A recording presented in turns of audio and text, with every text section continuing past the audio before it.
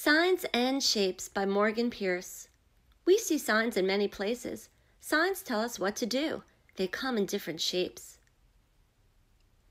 This sign tells us to slow down and get ready to stop. What shape is it? It is a triangle. It has three sides. And it says yield. This sign tells us to keep out. What shape is it? It is a square. It has four equal sides, and it says, do not enter. This sign tells us to watch out for children playing. What shape is it? It is a rectangle. It has four sides. It says slow, children at play.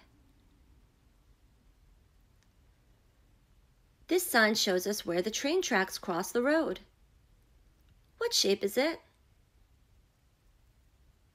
It is a circle. It is round. It has the letters R, R on it.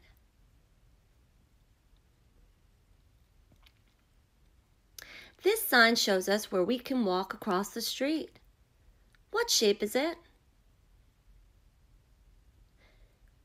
It is a diamond. It has four sides. It also has a person walking.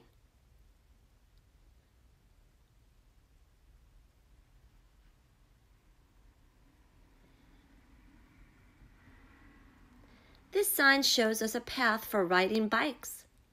What shape is it? It is an oval. It says Champlain Bikeway.